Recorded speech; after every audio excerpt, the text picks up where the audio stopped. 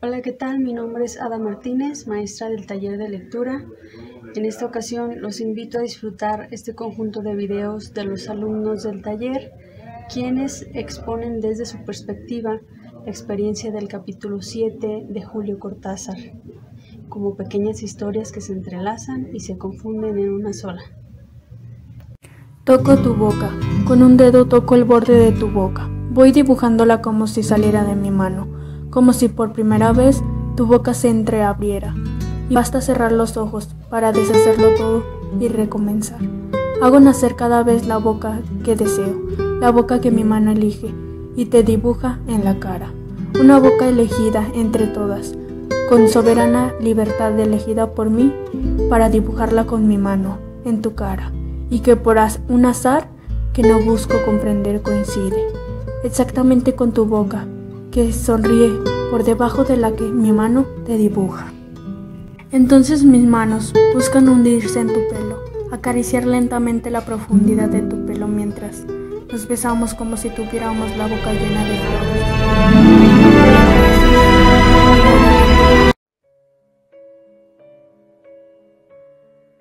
Nos miramos cada vez más de cerca y los ojos se agrandan, se acercan entre sí, se superponen y los cíclopes se miran, respirando confundidos. Las bocas se encuentran y luchan tibiamente, mordiéndose con los labios, apoyando apenas la lengua en los dientes, jugando en sus recintos donde un aire pesado va y viene con un perfume viejo y un silencio. Entonces mis manos buscan hundirse en tu pelo, acariciar lentamente la profundidad de tu pelo mientras nos besamos, como si tuviéramos la boca llena de flores o de peces, de movimientos vivos, de fragancia oscura. Y si nos mordemos, el dolor es dulce, y si nos ahogamos en un breve y terrible absorber simultáneo del aliento, esa instantánea muerte es bella, y hay una sola saliva y un solo sabor a fruta madura, y yo te siento temblar contra mí como una luna en el agua. Cuando damos un beso lo podemos dar con los ojos lo podemos dar con los labios. Y es ahí donde entra la boca. La boca es algo más que una parte del cuerpo. Con la boca decimos un te quiero. Rozamos los labios de la persona a la que amamos. Y eso es el amor. El simplemente con las yemas de los dedos rozar los labios de la otra persona. Y ahí sentir la pasión y el amor que le tenemos a la persona. Ahí nos damos cuenta que la boca es un sentimiento, es una pasión y es algo hermoso. La boca dice mal, más que mil palabras con un simple beso. La boca nos puede llevar hasta el alma de la otra persona y ahí sentimos el amor y la pasión que la otra persona nos tiene. Eso es el amor para mí.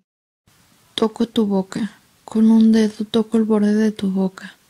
Voy dibujándola, como si saliera de mi mano, como si por primera vez tu boca se entreabriera. Y me basta con cerrar los ojos para deshacerlo todo y recomenzar.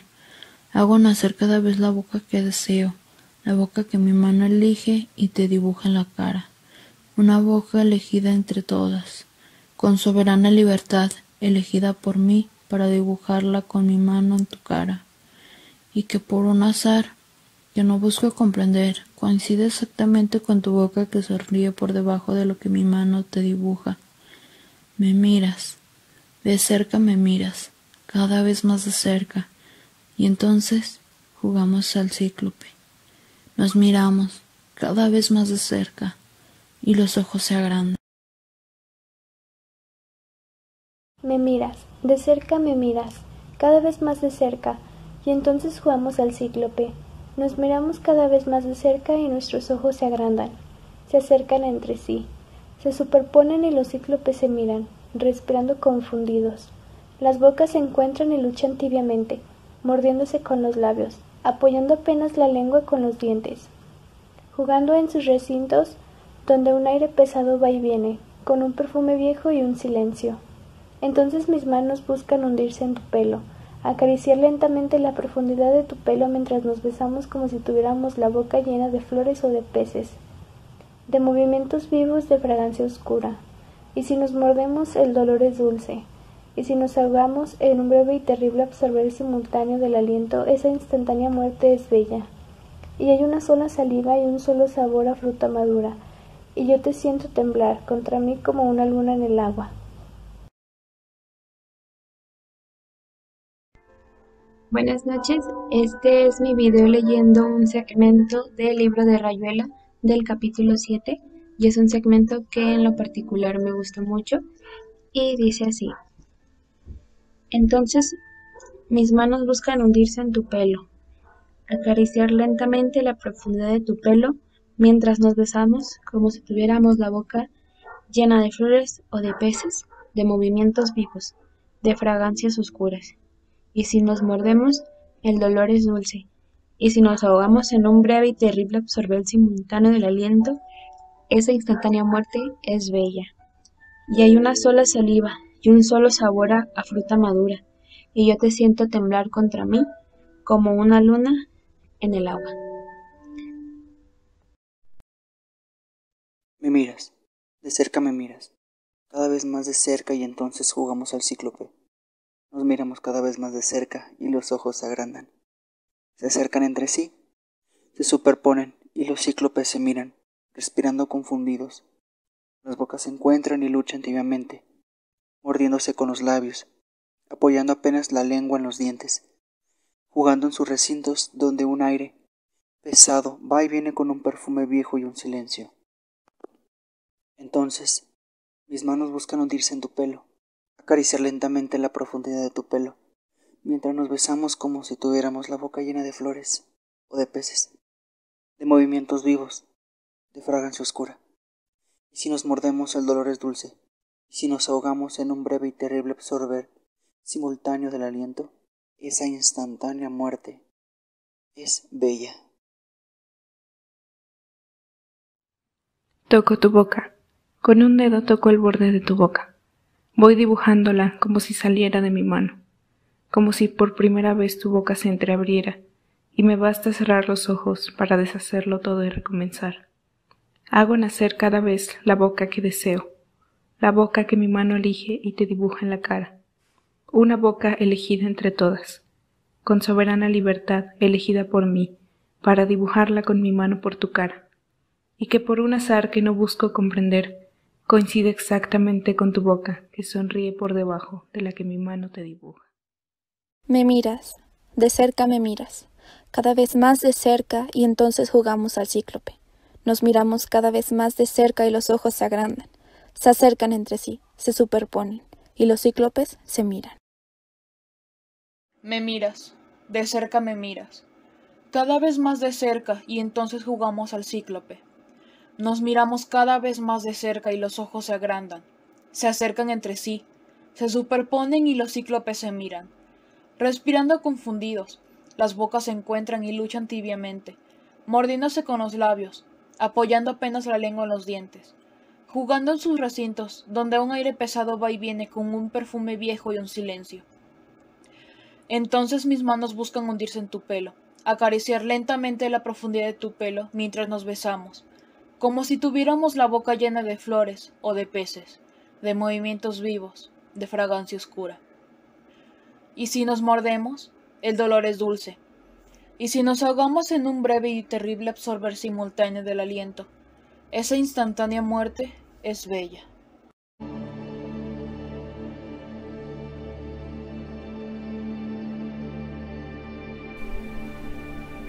Entonces mis manos buscan hundirse en tu pelo, acariciar lentamente la profundidad de tu pelo mientras nos besamos, como si tuviéramos la boca llena de flores o de peces, de movimientos vivos de fragancia oscura.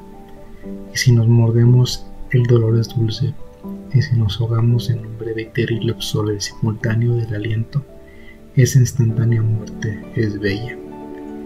Y hay una sola saliva y un solo sabor a fruta madura, y yo te siento temblar contra mí como una luna en. La boca que mi mano elige y te dibuja en la cara, una boca elegida entre todas, con soberana libertad elegida por mí para dibujarla con mi mano en tu cara, y que por un azar que no busco comprender coincide exactamente con tu boca que sonríe por debajo de la que mi mano te dibuja. Elegí esto debido a que son los dos amantes, ellos están borrosos debido a que tratan de conocerse a, través del tacto y es un momento muy íntimo que para ellos puede llegar a ser eterno, por eso es que el color sigue estando para ellos el mismo, mientras que en el ambiente va cambiando porque se supone que es el atardecer hasta el anochecer. Elegí este fragmento porque tiene mucho de qué hablar. Primero es la intimidad que las personas llegan a tener como pareja, ese punto en el que lo que quieres es embriagarte del otro, una acción que se elige con libertad, con un auténtico amor hacia la otra persona. Trata de dibujar, su boca ideal, pero siempre coincide con el de su amante, porque ese es su concepto de idealidad. Y no busca comprender el por qué, no lo necesita, solo sabe que lo es y considero que eso es muy hermoso.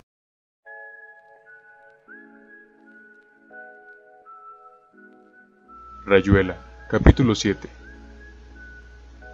Toco tu boca. Con un dedo toco el borde de tu boca. Voy dibujándola como si saliera de mi mano. Como si por primera vez tu boca se entreabriera. Y me basta cerrar los ojos para deshacerlo todo y recomenzar. Hago nacer cada vez la boca que deseo.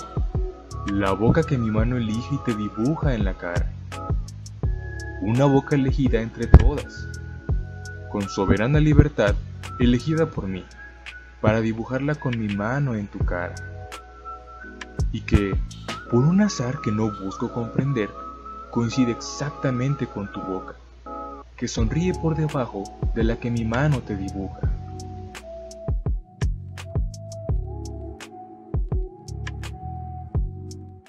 Comenzaré con la parte que más me gustó del capítulo 7 del libro Rayuela de Julio Cortázar. Entonces mis manos buscan hundirse en tu pelo, acariciar lentamente la profundidad de tu pelo mientras nos besamos como si tuviéramos la boca llena de flores o de peces, de movimientos vivos, de fragancia oscura. Y si nos mordemos, es dolor dulce. Y si nos ahogamos en un breve y terrible absorber simultáneo del aliento, esa instantánea muerte es bella. Y hay una sola saliva y un solo sabor a fruta madura. Y yo te siento temblar contra mí como una luna en el agua. Estas metáforas realmente te llegan a intimar con lo que el Julio Cortázar nos quiere dar a entender sobre esta relación en ambas personas. Esto sinceramente es lo mejor para mí.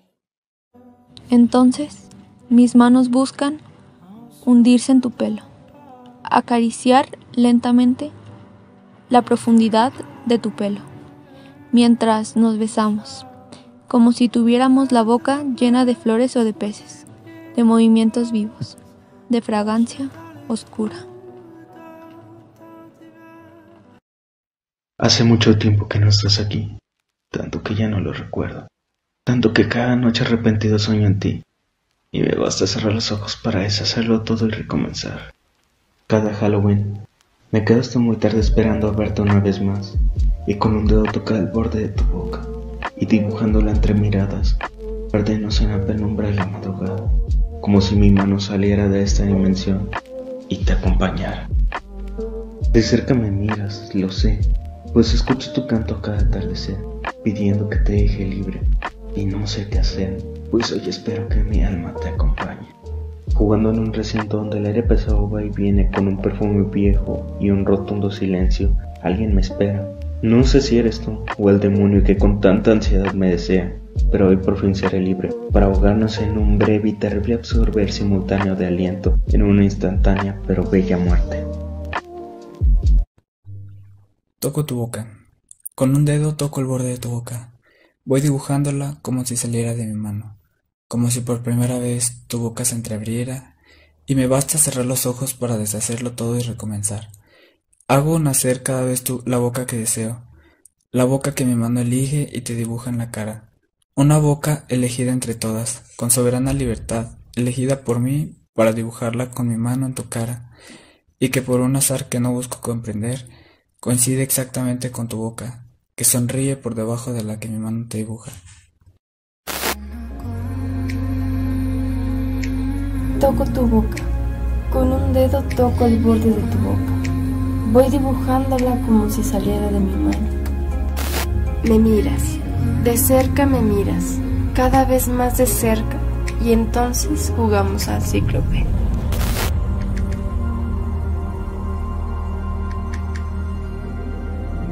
Entonces mis manos buscan hundirse en tu pelo, mientras nos besamos como si tuviéramos la boca llena de flores o peces, de momentos vivos, de fragancia.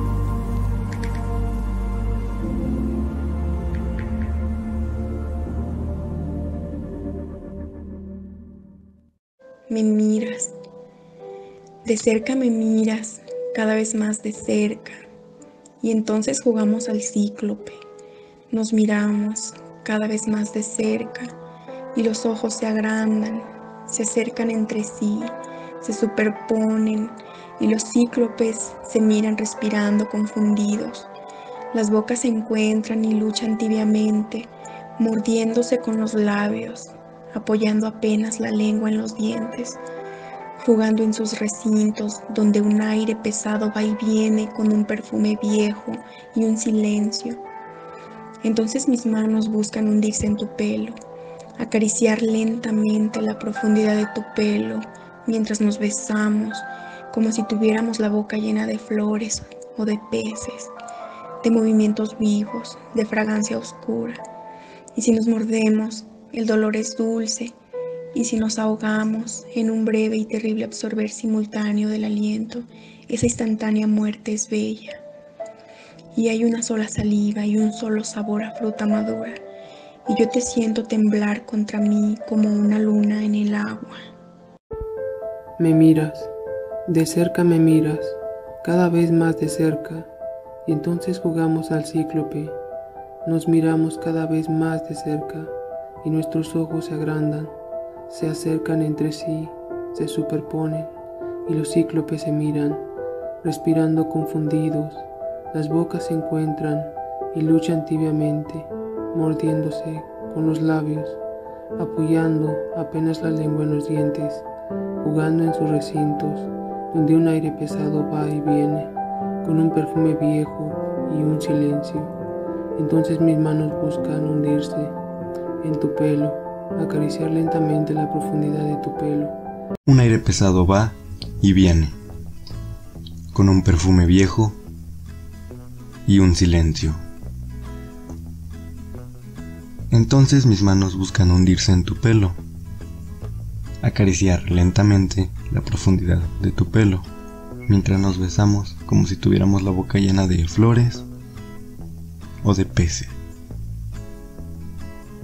de movimientos vivos, de fragancia oscura.